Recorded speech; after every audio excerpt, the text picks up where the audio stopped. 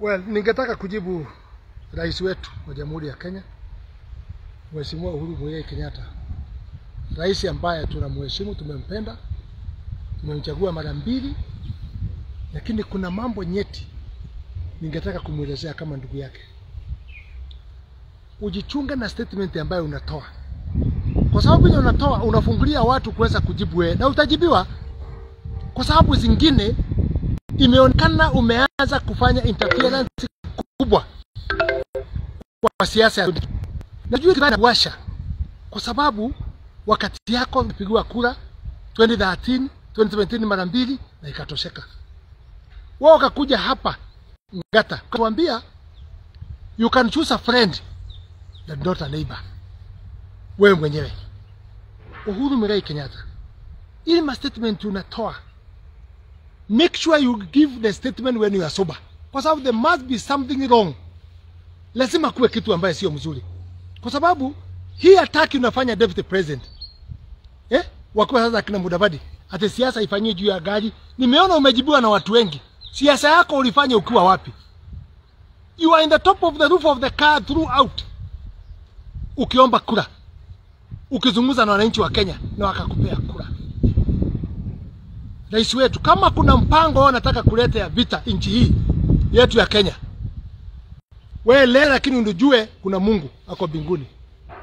When you are insulting the others and you are from Central, you are putting us in a very awkward situation, kwa sababu wale watu watujui wanatuchukua sisi kama watu ya Central ambayo tunafanya siasa aina hiyo, and I would like to clear the people, we are not with together with the president. Hiyo siasa anafanya ni yake Don't take him as a, as a somebody from Central, mchukue kama rais wa Jamhuri ya Kenya, ile mambo anafanya. Na ningetaka kukumbusha uweze kuelewa mzuri sana Your Excellency, ile mambo deputy president amekufanyia, ile mambo Mudavadi amekufanyia, ile kazi umefanya na hawa, hata wakati mlikuwa KANU.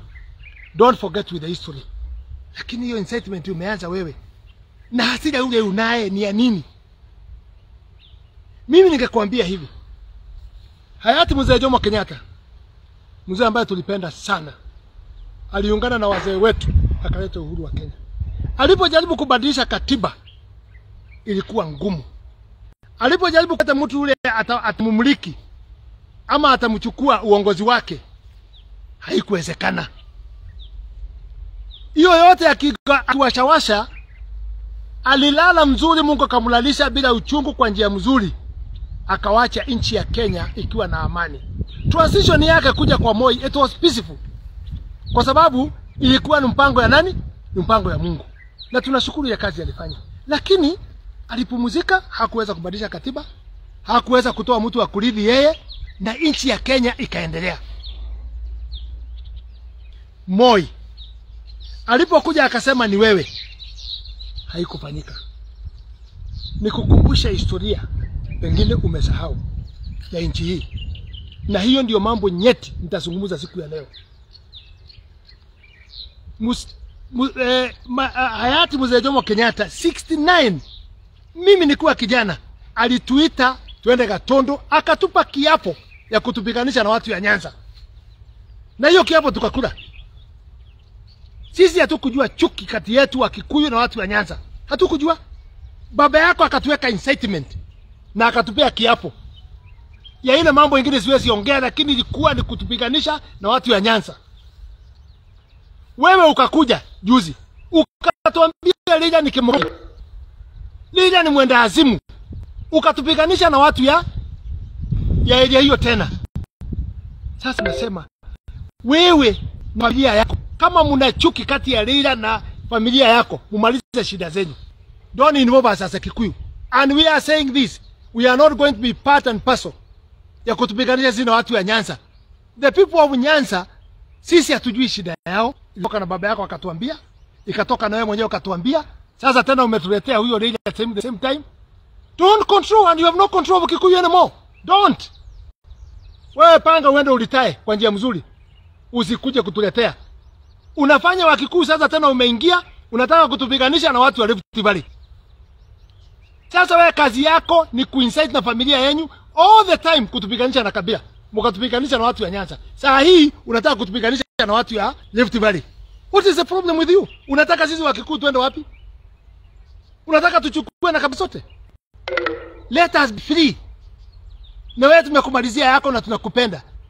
Tulikupea kura 2013. Ukapelekwa Hague na hiyo watu unatuletea. Na ni kweli tuambia ni wenda azimu wewe mwenyewe. That's your statement. Kutoka hapo sasa umewacha umewacha chama, umepiga Ruto, umesiga si wajumbe na sasa unasukumia. Let me tell you, maybe don't be drunkard with the money and the power. Please. Nguvu ya uongozi upeanwa na Mungu. It looks you are forgetting God.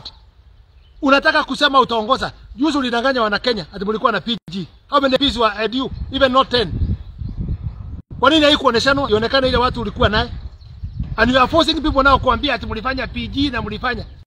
Wale wanazungumza ni kanini kega, wanazungumza kwa state house, kwa huko kwa mitaa, kwa mitaro. Ni wanazungumza mambo ya PG. Don't call Kenyans and let Kenyans be free. Yes, don't do those things. I beg you, I beg you, just agree to retire. Wachana na sisi Kikuyu tuende bali tutaenda. Now we know where we are going. And we want to unite Rift Valley fast.